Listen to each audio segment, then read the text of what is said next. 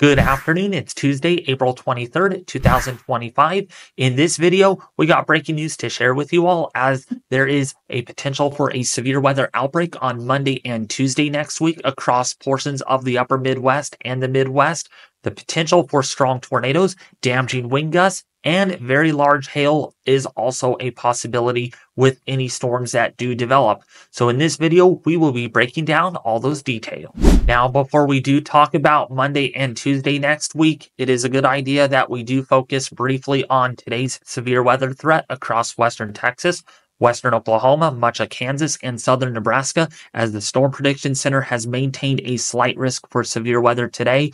This is mainly driven by large hail and damaging wind gusts, but it is also driven by a small 5% risk for tornadoes. This is primarily across far western Kansas and northernmost portion there of the panhandle of Oklahoma. Surrounded by that, there's a small 2% risk for tornadoes across southwestern Texas. And as you can see, there is a 15% risk for damaging wind gusts exceeding 60 miles an hour across far western Texas, western Oklahoma, into much of Kansas and southern Nebraska, with also a risk for quarter size hail or larger in the slight risk areas. This goes all the way from southwestern Texas into western Oklahoma into central Kansas with a 5% risk for large hail for the southeast and also for Michigan and southern Wisconsin. Now, when we time this out on our composite reflectivity forecast on our HRRR model, which stands for high resolution rapid refresh, this is a simulation of the radar, and what we see here is some showers and thunderstorms that pop off across southwestern Texas this afternoon due to surface heating. We have drier air, and drier air warms up much faster than moist air, and what we end up getting is a lot of convection out of this for southwestern Texas near Fort Stockton. This continues throughout the evening hours and overnight hours tonight with showers popping up here over Kansas City far western Kansas got some showers and thunderstorms here near um, Fort Dodge, that is. And then we got storms out of this in western Texas as well as Louisiana and Mississippi. Now, going forward here, those storms will eventually fall apart here. The ones that are over Kansas will just kind of disintegrate due to capping, due to stability issues.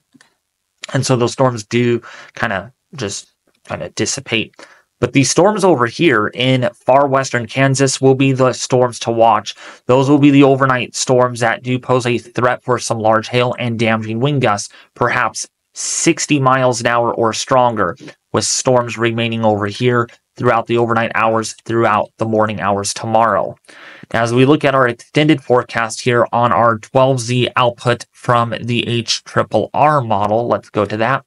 You can see Storms do continue to progress further southeast here into northeastern and central Oklahoma throughout the afternoon hours tomorrow. So this would be right around, say, 3 o'clock central daylight time.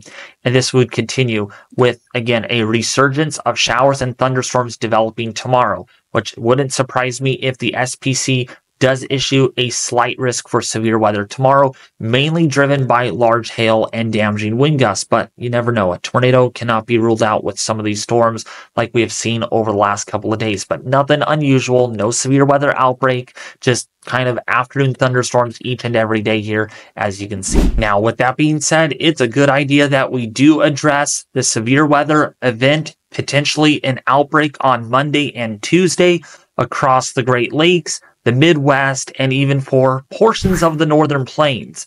So here's a look at the 500 millibar relative vorticity plot. This is another way of saying where there's lift, where we can analyze the atmosphere above our heads at 18,000 feet. So, and this gives us an idea where our areas of low pressure are actually located. So we have one over the northeast here that I've circled in black. We have another one over the Intermountain West here, such as California and Nevada. This is going to be the system that we are going to be watching closely as it ejects into the northern plains. So putting this into motion here on the GFS model, and this is for the weekend, by the way, the 27th, and this is for the 28th. So this trough moves into the northern plains as we go into Monday afternoon. And the timing of this now really is concerning because that means we're going to have enough lift in the atmosphere. We're going to have cyclogenesis taking place. We're going to have southerly winds, and we'll look at that here in a second. And the ingredients are coming together for a pretty substantial threat of severe weather. And speaking of that, here's a look at the those upper level winds here at 18,000 feet. And what we have here is winds anywhere between about 70 to about 80 knots. That's about 80 to 95 miles an hour at that level. That's pretty strong. And there's a lot of lift. You can see falling heights here. You can see the trough is right here. And there's just this ribbon of strong, fast moving air overspreading the warm sector. This combined with um, low level winds that are also going to be increasing as we go into the afternoon and evening hours to around 60 knots or 50 to 60 that's about uh, 60 to 70 miles an hour. That's going to introduce a lot of speed shear and directional shear. And the surface wind here is around 20 to 30 knots. Are also introducing some very strong low level wind shear as well. Okay, and we have the surface low that's going to be deepening to about 990 millibars we actually go back a few frames, you can see that pressure fall just a little bit enough to where we do get some strengthening winds out of the south. And what that's going to introduce is it's going to introduce moisture advection. Look at dew points here. Yeah, dew points in the 60s as far north as northern Minnesota. Northern central Wisconsin, you can see where this warm front actually is here. We got the dry line and cold front back over here in Kansas and Oklahoma. And out ahead of this, we have dew points that are even in the mid 60s, mid to upper 60s over this region. And this is going to um, occur underneath very steep mid level lapse rates. So there's going to be a lot of moisture. There's going to be uh, an EML influence here, somewhat of an EML, and that's going to steep the, our lapse rates here over um, the severe weather risk, primarily from Texas and Oklahoma, as well as into Louisiana, not Louisiana, uh, Missouri, I meant to say, where we have mid-level lapse rates on the order of about 8 to 8.5 degrees Celsius. That is pretty steep, and that's going to contribute to extreme instability or actually strong to extreme on the levels there from northern Texas into Oklahoma into Kansas. Look at this 3,500 joules per kilogram of surface based instability that advects northward, even into Minnesota and Wisconsin. So it's not just a deep south or, or a Midwest threat here like in Oklahoma or Missouri, but we're also going to see a big severe weather threat materialize perhaps in uh, Minnesota as well as Wisconsin. That on top of very little capping now. So the whole concern here was we might see a little bit of a lid. Okay. And this is another way of saying that this prevents thunderstorm convection. That's a good thing. We don't want thunderstorms to become strong to produce hail, wind, and tornadoes. We want a capping inversion unless these storms are elevated, but elevated storms are not as big of a threat as surface based storms. So in this case, our surface-based convective inhibition, which prevents thunderstorm development, there's just no lid. There's just nothing much here. And when we click a an observed sounding here in central Iowa, let's click that really quick. Yeah, that's a lot of instability. That's very significant there. And let me zoom in so you all can see this. Uh, it's not going to be captured very well. Actually, can I move this? No, I can't.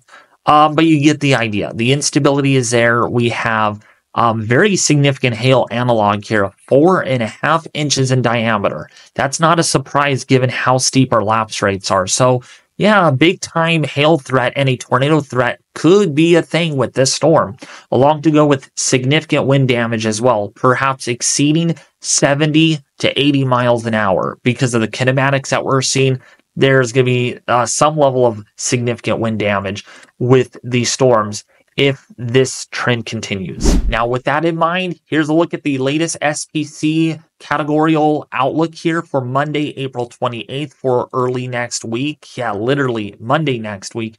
We are seeing a slight risk. There's a 15% highlighted area here all the way from Oklahoma into Kansas, Missouri, Iowa, Minnesota, into Wisconsin, as well as northwestern Illinois, far and wet northwestern area there.